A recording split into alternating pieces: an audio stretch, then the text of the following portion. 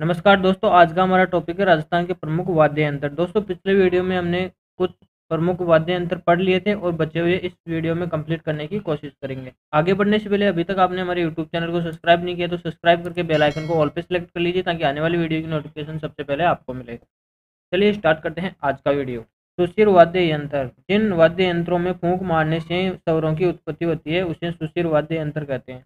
सुशिर वाद्य यंत्र किसे कहते हैं दोस्तों? जिन वाद्य यंत्रों में फूंक मारने से सौरों की उत्पत्ति हो जाती है, उसे सुशिर वाद्य यंत्र कहते हैं। ठीक है? चलिए, बढ़ते हैं आगे। कुछ प्रमुख सुशीर वाद्य यंत्रों का उल्लेख कुछ इस प्रकार है, जो हम अभी देखने वाले हैं। सबसे पहला वाद्य यंत्र आता है सहनाई।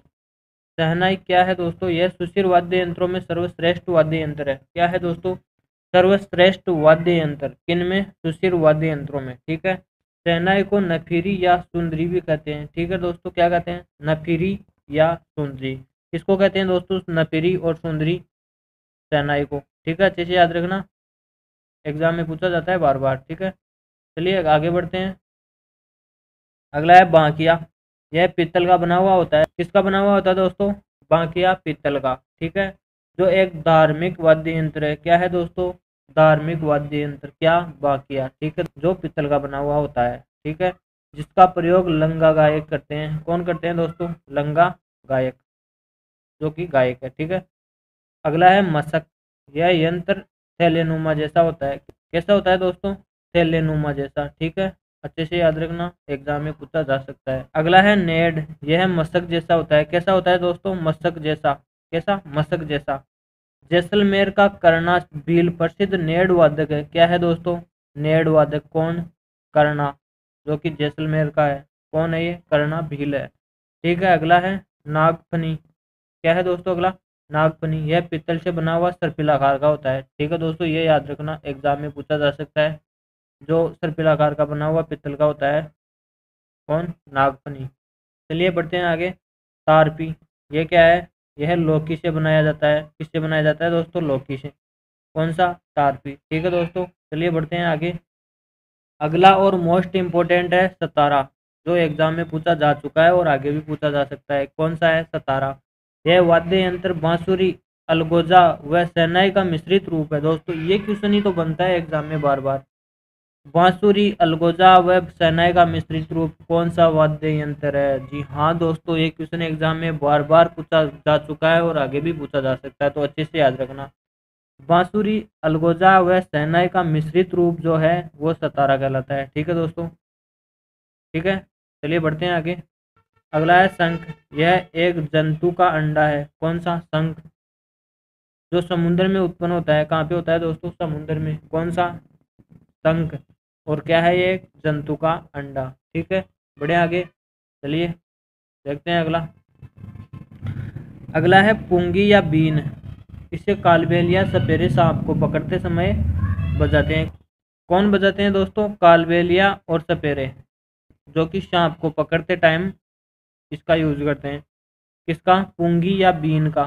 ठीक है दोस्तों? कालबेलिया या सपेरे। सांप पकड़ते समय का यूज़ करते हैं इनको बजाते हैं। ठीक है? अगला है मोरचंग। क्या है ये? मोरचंग। होठों के बीच रखकर बजाए जाने वाला वाद्य यंत्र मोरचंग को जूज हार्प भी कहते हैं। क्या कहते हैं दोस्तों?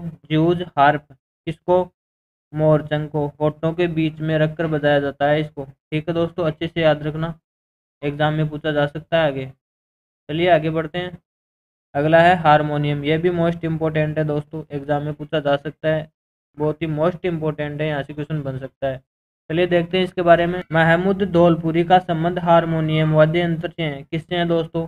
हारमोनियम वाद्य यंत्र से। किसका? महमूद धौलपुरी का, ठीक है? जयपुर घराने के उस्ताद अल्लाह दिया खान के पंडित गोविंद राव तांबे शिष्य थे। क्या थे? शिष्य थे गोविंद राव तांबे जिन्होंने हारमोनियम बजाने में क्रांति ला दी थी। दोस्तों, कौन से वाद्य यंत्र को बजाने में गोविंद राव तांबे जो शिष्य थे?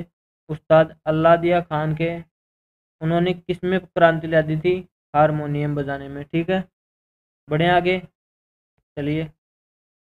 याद रखना दोस्तों, पंडित शिव कुमार शर्मा का संबंध संतूर वाद्य यंत्र से है। किससे है? संतूर वाद्य यंत्र से। किसका? पंडित शिव कुमार शर्मा का। ठीक है दोस्तों? तो पंडित जसराज का संबंध डागर घराने से है। किससे है? पंडित जसराज का संबंध डागर घराने से ठीक है? और पंडित पुरुषोत्तम दास प्रसिद्ध पकवाज वादक थे। क्या थे? पकवाज वादक कौन? पुरुषोत्तम दास। ठीक है दोस्तों, बढ़े आगे। अब आगे आ जाता है अवनद या ताल वाद्य यंत्र। ठीक है दोस्तों, अवनद या ताल वाद्य यंत्र। पशुओं के चमड़े से निर्मित वाद्य यंत्र जिसको चोट मारने से स्वरों की उत्पत्ति होती है, उन्हें अवनत या ताल वाद्य यंत्र कहते हैं। पशुओं की चमड़ी से निर्मित जो भी वाद्य यंत्र है, उनको चोट मारने पर जब सूरों की उत्पत्ति होती है ना, उन्हें अवनद या ताल वाद्य यंत्र कहते हैं। ठीक है दोस्तों, बढ़े आगे। चलिए देखते हैं अगला। अगला है नौबत। धातु की अर्ध अंडाकार कुंडी को भैंसों की खाल से मंड कर, चमड़े की डोरियों से कसकर लकड़ी के डंडों से बजाया जाने वाला नौबत वाद्य यंत्र। प्राचीन काल में युद्ध के समय व वर्तमान में मंदिरों में बजाया जाता है। कब बजाया जाता है दोस्तों नौबत को?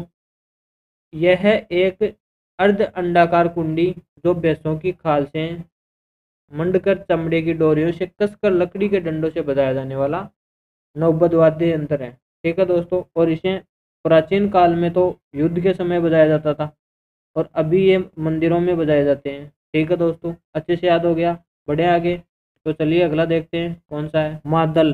दोस्तों, अगला है मादल। ठीक है? राजस्थान का एकमात्र ऐसा लोकवाद्य यंत्र, जिसकी डोटी में तनाव के लिए पखावज की तरह लकड़ी के गुटके डाले जाते हैं। किसकी तरह दोस्तों? पखावज की तरह लकड़ी के गुटके डाले जाते हैं।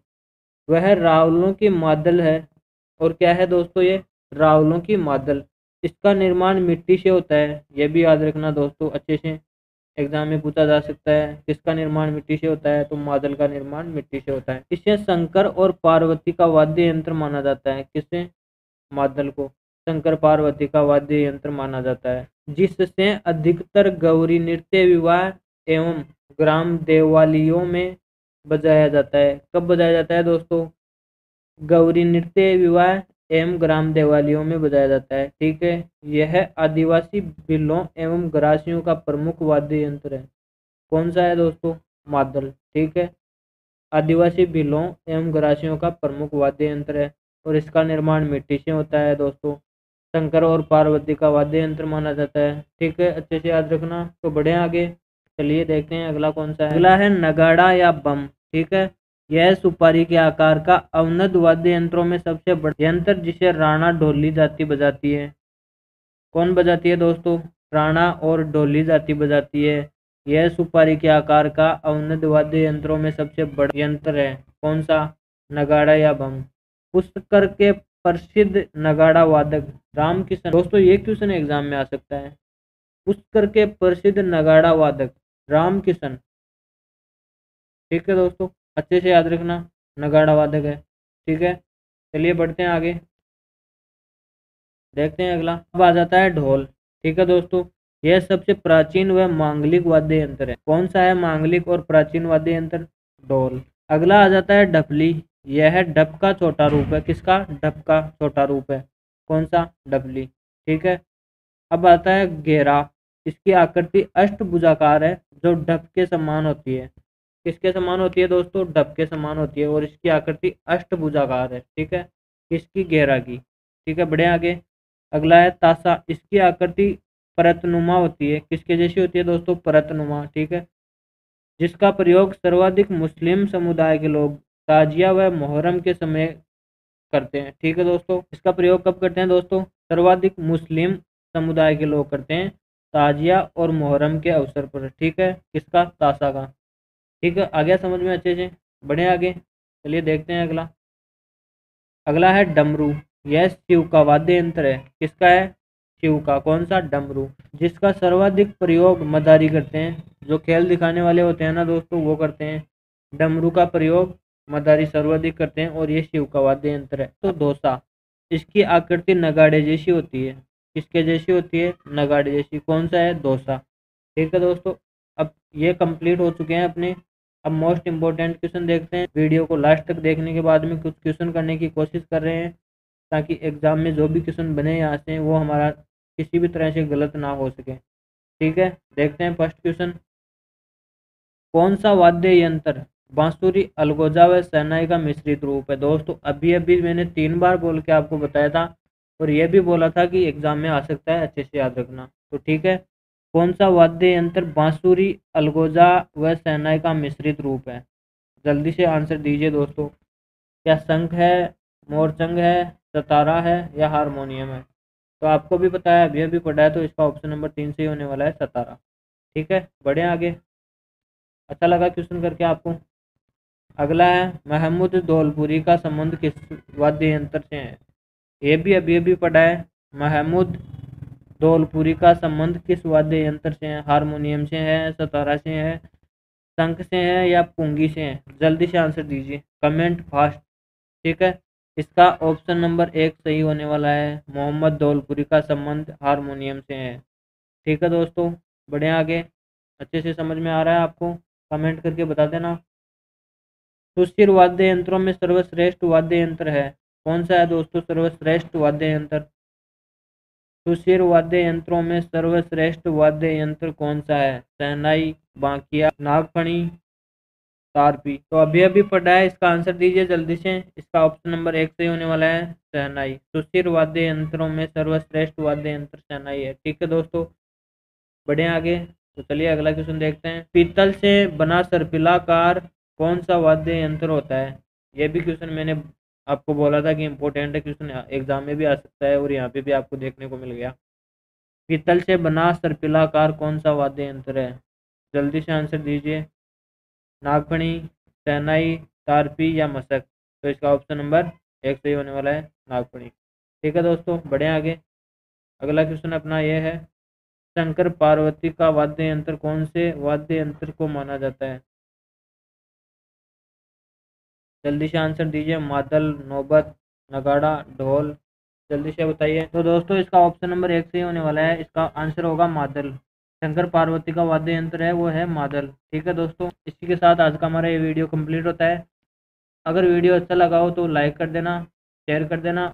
और चैनल पर पहली बार आए हो तो सब्सक्राइब करके बेल आइकन को ऑल पे सेलेक्ट कर लीजिए ताकि आने वाली वीडियो की नोटिफिकेशन सबसे पहले आपको मिले। ठीक है दोस्तों वीडियो कैसा लगा कमेंट करके ज़रूर बताना और नेक्स्ट टॉपिक के बारे में भी बता देना ताकि उसी पे मैं वीडियो बना के लेके आऊँ आपके लिए। थैंक यू दोस्तों, वीडियो लास्ट तक देखने के लिए। मिलते हैं नेक्स्ट वीडियो में।